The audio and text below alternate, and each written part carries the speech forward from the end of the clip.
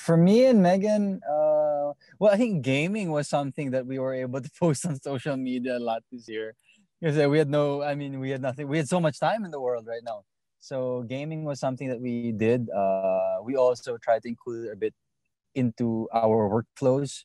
So Megan's streaming already on Facebook, her gaming, and I guess a lot of work, a lot of work. Um, since we Mhm. all shifted to a work from home setup, surprisingly, even our work, me and Carla's work, could be shifted to a work from home setup, which was surprising.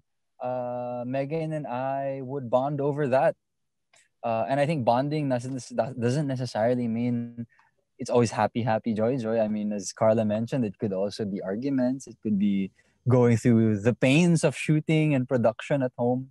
So kasama na rin yan kasi after you get Mm. through that hump, it becomes a memory and a nice story to tell. Ah, oo, naalala mo, pinagawa yan natin yan. Di natin alam kung paano i-on yung camera. So, uh, anong tawag dito?